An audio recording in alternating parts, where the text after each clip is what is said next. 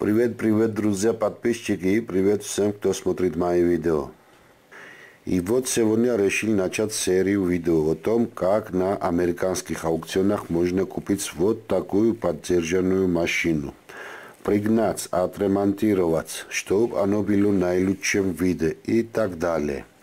Конечно, на канале, как раньше, будет и другие поучительные видео и рекомендации, но Такие видео тоже нравятся людям и решил воспользоваться ситуацией. Хочу вам сообщить, что несколько дней назад приобрел на американском бирже Копарт вот эту машину для семейного пользования. Кстати, если кто из соседних республик интересуется вопросом машин в Грузии из Америки, пишите в WhatsApp месседж или звоните вот по этому номеру. И постараемся организовать покупку автомобиля в Америке, восстановление и дальнейшие процедуры, о котором можно договориться. Как вы знаете, у меня уже три года есть машина Passat CC 2009 года, и я доволен. Мне нравится эта машина но все-таки на семейном заседании решили обновить домашний автопарк. Почему? В первую очередь это связано с тем, что машина Passat CC – это автомобиль городской. Машина, которая уверенно чувствует на трассе. Но часто бывают ситуации, когда хочется выйти на природу, идти в деревню, и Passat CC в таких ситуациях не пригоден. Вот поэтому и решили купить машину на полном приводе. Выбор марки определили так. У меня всегда были немецкие машины и всегда хотел испробовать японские. По моему мнению, вторая важная черта, которую должна иметь машина, это компактность. Passat CC – это достаточно длинная машина, и в городе всегда мне трудно было найти место для парковки. Вот вижу, например, есть место для парковки, где достаточно легко поместится другая машина. Но тут места явно не хватало для моей машины. И приходилось крутиться так несколько раз около центра и наблюдал, пока где-то место еще освободится. Исходя из такой причины, сначала наш выбор остановился на Nissan Juke и Mitsubishi Outlander. Но из-за того, что эти машины мы посчитали недостаточно симпатичными, и в семье мы все достаточно высокого роста и не худенькие, передумали. Наш выбор остановился на Subaru Forester и на Mazda CX 5 класса. В конце концов, наш выбор остановился на Мазде с 2012 до 2016 года выпуска. Поскольку я в этом деле чайник и машину на аукционе в Америке никогда не покупал, попросил помощь друзьям. Я каждый день смотрел на аукционе Копарт и АИАИ, какие машины выступают в тот день на продажу скидывал лоты друзьям. Они там более тщательно оценивали эту машину. Делились своими советами, исходя из опыта. И если по нашим оценкам машина попадала под список надежных целях, я давал им инструкции, до какой максимальной ставки можно играть на аукционе. И наконец-то мы выиграли эту машину по цене 5700 долларов. До покупки машины в первую очередь на что мы обращали внимание.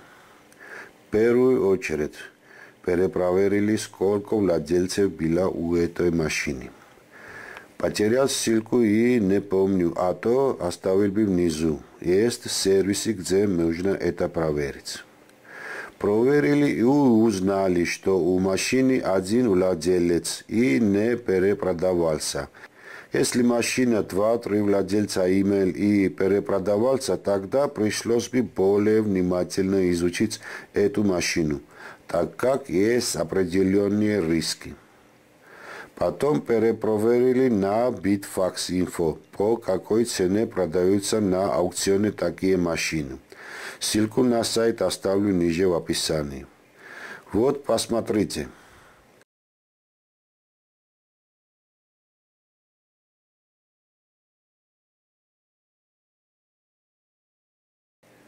Цены, во-первых, формируются от марки автомобиля, от степени повреждения – от года выпуска, километраж, цвет и еще многое.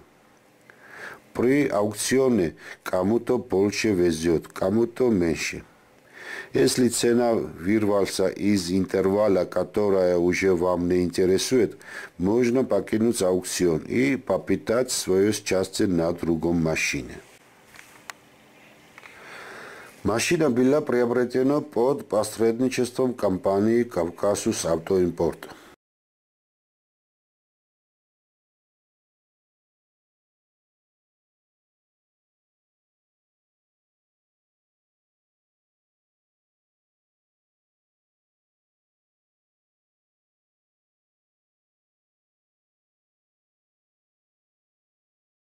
Достаточно известная компания, которая сотрудничает с американскими автобиржами. Теперь посмотрим калькуляцию этой компании, сколько примерно обойдется ее доставка и растаможка в Грузии. Вот мы на аукционе заплатили 5700 долларов. Спор аукциона 798 долларов. Транспортировка в Америке не высвечивается. Цена контейнера, страховка взносы в порту и растаможка. Все это вместе составляет 8846 долларов. Теперь посмотрим по инвойсу, какие расходы мне прислал компания «Кавказус Автоимпорт». 6483 доллара – это стоимость и спор аукциона – которую мы перечислили на следующий день на счет компании. Плюс доставка до порта Поти 1808 долларов, которую я должен перечислить на счет порта, когда машина будет доставлена в порту. В сумме это будет уже 8291 доллар плюс доставка из Поти до моего города, примерно 60 долларов, и растаможка 949 долларов. Пишите, пожалуйста, в комментариях, сколько у вас в стране стоит доставка растаможка. В сумме мы получим 9300 долларов. И тут еще нужно будет добавить цену на детали и ремонт машины.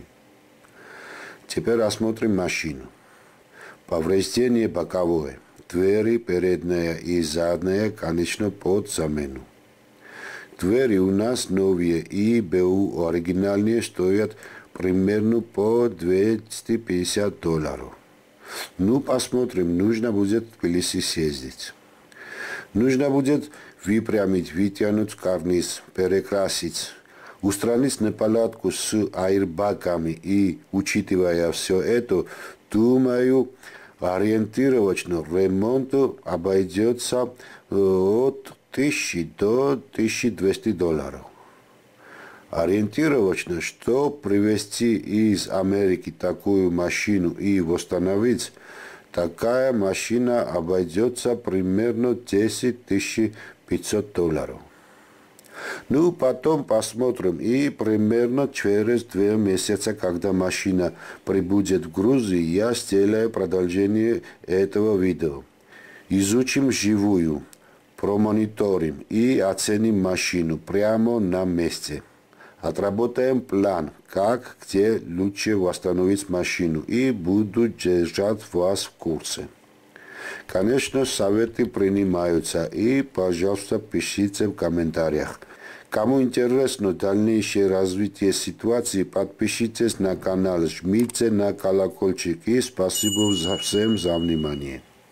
Следите и через несколько дней на канале будет новое видео по интересной теме. А ссылки на продолжение этого видео, когда она будет готова, пропишу тут в описании этого видео.